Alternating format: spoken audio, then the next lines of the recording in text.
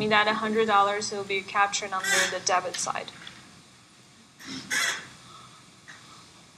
Okay, so we're trying to allocate the plan assets value cost to expense account. The original purchase cost is a certain amount, and we'll turn that part into depreciation expense.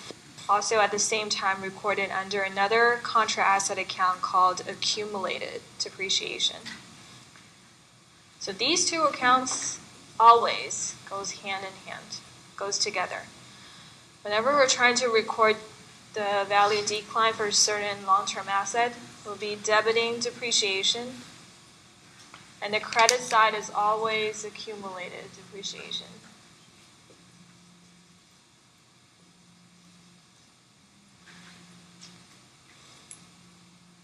This is this is a special case for assets. So earlier, remember the supplies case, we just directly reduce supplies and turn that into supplies expense. Okay, so here for long-term assets, because the value usually is um, it's a lot costly than other supplies, other short-term assets. So under balance sheet, we usually have, remember, there's furniture, there's land, building. You have different T accounts. In those accounts on the debit side, you will usually see the original purchase cost. It's always there. Whenever we record reducing the value of those assets, we have a separate contra account called accumulated depreciation to record the part that we estimate has gone down, the decline of the values for long-term assets. So we, which means that we normally don't touch the original long-term asset account until we're actually selling this asset, or until this asset is no longer useful anymore. We're taking it out from balance sheet completely. Otherwise, you usually see this account there for good, and this amount we usually don't go back to change it. It represents the original purchase price. And whenever we depreciate the asset, we use these two. It would be debiting depreciation expense. As I mentioned earlier, this is an expense account.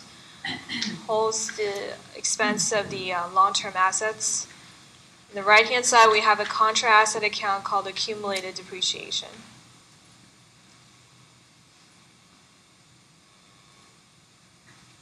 Okay, so under the original asset account, it represents the original, the book value, the um, original historical cost of the asset, which is the purchase price that we made earlier. But then if you see under balance sheet accumulated depreciation, then that means, for example, here, the company has used the asset for a year. So if you have used the asset for two years, you see $200 here. And you see another $100 here. Okay, so the the amount you see under accumulated depreciation basically will represent, you can tell how long the corporation has had this asset based on the amount you see under accumulated depreciation. The longer the asset has been staying in the business, the more accumulated depreciation you will see here. Okay, so this accumulated depreciation, the normal balance is the right side, is the opposite of regular asset account. Just because itself, it represents furniture or building or machinery's degraded value.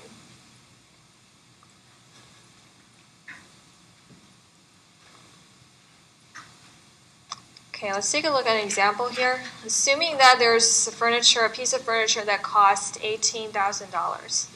And let's say the useful lifetime, we estimate that it can be used for the business, within the business for five years. So that's about 60 months. Okay, so if we want to measure a month of depreciation in this monthly statement, that would be $300. Okay, use $18,000 divided by 60. Okay, that would be $300, and we want to measure that the business has been using this furniture for this month. We'll be debiting depreciation expense, crediting accumulated depreciation for furniture. Okay, depreciation expense is debited. Remember, whenever there's expense that accumulates, we debit this account. Accumulated depreciation is a contra asset account. Contra means the opposite.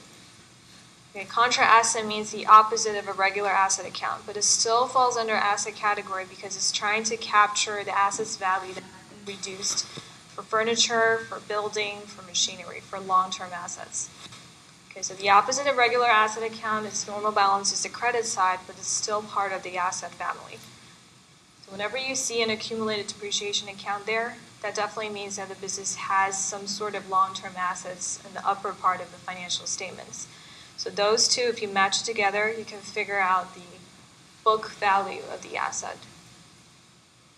Okay, so meaning that if you have a furniture that worth $18,000, you see $18,000 listed under furniture. If you see $300 listed under accumulated depreciation, then you know right now you can estimate the value of the current asset will be $18,000 minus 300. So the 300 represents using the asset for a month.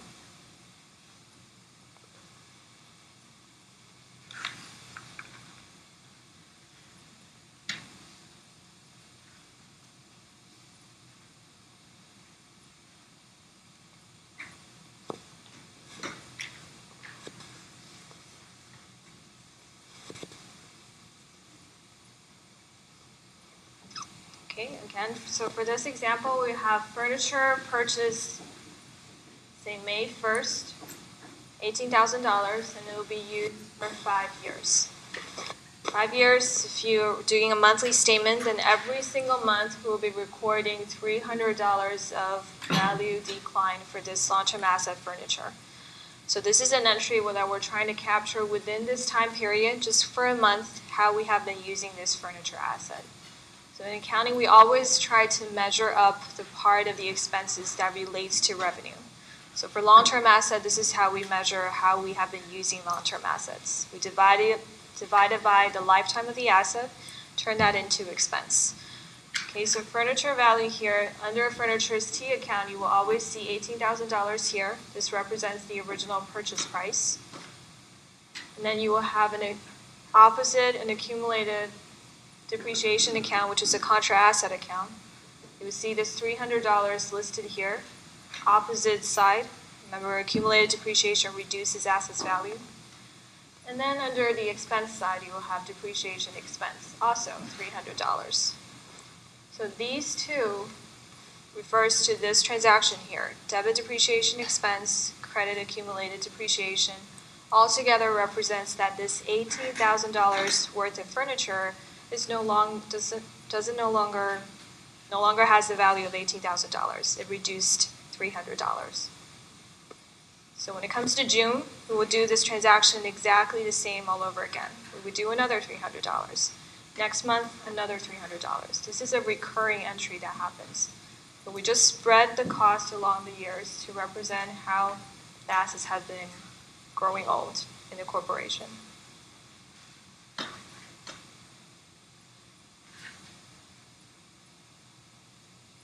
Okay, so we do this for each and every type of long-term asset except land. Okay, land is an exception that we don't depreciate the value, but all the other accounts we do depreciations for it. Okay, land we usually assume that it has an indefinite lifetime. So land is one of the exception of long-term assets that we do not depreciate. All the others, building, furniture, fixtures, machinery, equipment, all the others that you can think of that last in the business for longer than a year, we have to depreciate it. So furniture may be harder to link to why it's growing old, but if you think about machinery, think about equipment, the longer the use, that you use, usually in the corporation, the more repairment or maintenance expense you will have to uh, use to support the machinery to work as well as before when you just purchased it. So that is pretty much the uh, why we're doing this depreciation. So the longer in the corporation this asset is being used, usually the value will gradually degrade. Okay, this is what we're trying to do in depreciation account.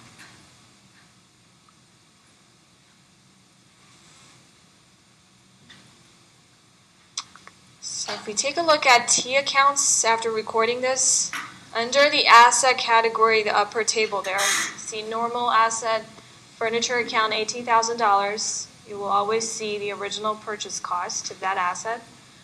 Right hand side, we have a separate account that holds how we measure the asset's value. When we decline the value, we record it under accumulated depreciation. So whenever you see accumulated depreciation on the right side, that means we're trying to measure um, the value of the assets, the part that has grown old. Okay, that account goes together with depreciation.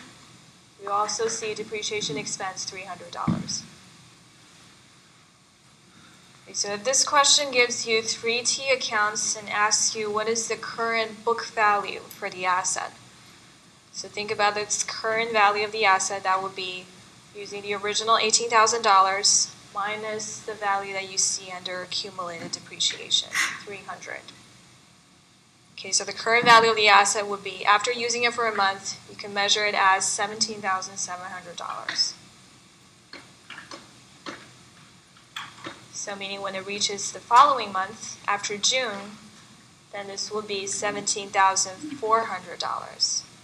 After July, $17,100. Okay, following month, $16,800. So we'll continuously to reduce $300.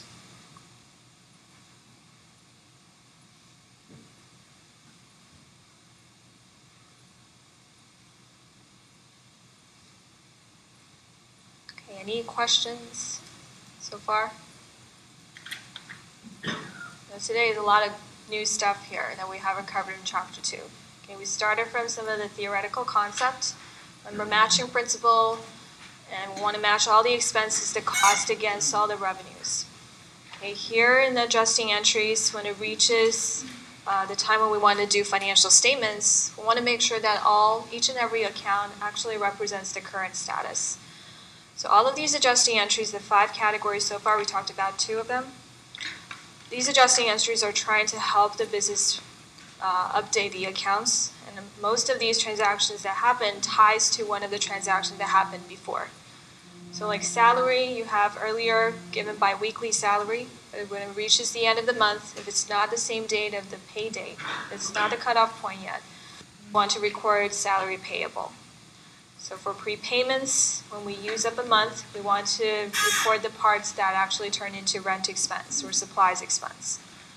For long-term assets, as we use it in the corporation to support business operations, we want to measure the amount of value that has been degraded, has been declined, using depreciation accounts, depreciation expense, and accumulated depreciation. Okay, make sure you get this concept here. Accumulated depreciation is very important to know, and also remember that it has the opposite direction of asset. Is kind of like the idea of expenses and dividends. The account itself degrades equity value. Depreciation basically represents part of the value that's no longer there for this reduces regular assets value. Five. Where will we uh, record the seventeen thousand seven hundred dollars actually, you know, to figure out that we used one month? Oh, the book value basically you get this amount from looking at these two accounts. Basically, it's already there, seventeen thousand seven hundred. For like, for like, is there like a normal balance in the T accounts, like how, then balance in hundred run? The normal balance later, and so under financial statements in chapter four, you will see that there's furniture listed first, and then there's accumulated depreciation of furniture listed behind it, right next to it. So